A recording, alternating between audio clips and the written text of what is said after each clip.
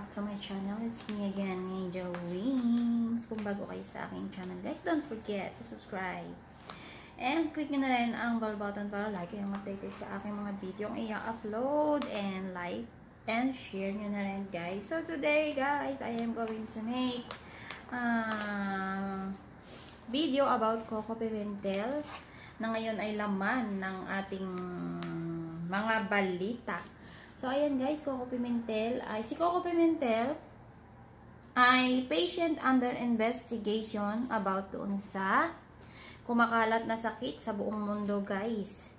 So, pag sinabi nating ano, under investigation guys, so, ito ay dapat hindi na nakikisalamuha sa ibang tao. Kailangan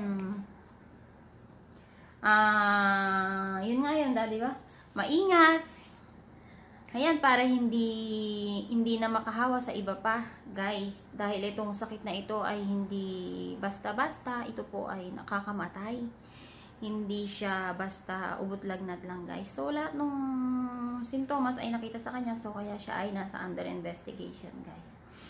So, dahil nga doon sa balita na naihi, naihatid pa niya yung kanyang asawa sa Makati Medical Center, uh, na hindi siya nagsasabi na siya ay under investigation na. So, siya ay lumabag sa batas na inilabas ng ating pamahalaan Uh, ito ay ang RA 11332 or the Law on Reporting of Communicable Diseases in RA 9271 on the Quarantine Law. Yan po ang tawag guys. So yun po, naka-under investigation siya. So nilabag niya ang law na ito. So ito, pwede siya dito ang kasuhan sa ginawa niyang ito guys. Dahil ang sakit na yun, is hindi basta-basta. Ito ay madaling makahawa at ito ay nakakama nakakamatay. Yun nga ang sabi ko guys. Dahil sa ginawa niya, maaaring mahawa ang mga frontline health workers na ngayon ay under monitoring na sila or PUM, people under monitoring guys.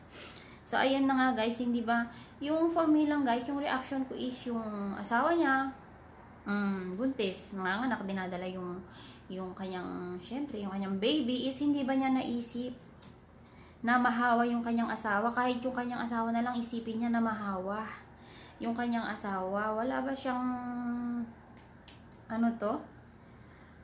Uh, pagmamahal sa kanyang mag-ina guys. Dahil talagang pwedeng mahawa yung kanyang mag-ina sa ginawa niya guys.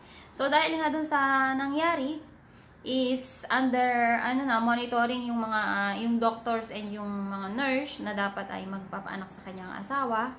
Hindi rin pa niya naisip guys na nabawasan. Ayan. Nabawasan yung sanang mga nurse na mga nurse at doktor na tutulong doon sa sa may mga sakit. Ayan. Is nabawasan dahil sila ngayon ay under monitoring na.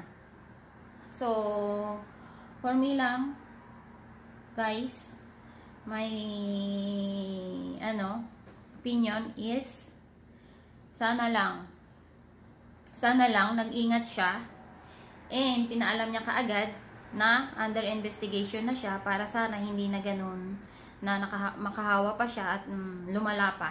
Dahil malaking problema ang naidulot niya sa Manila Medical Center guys.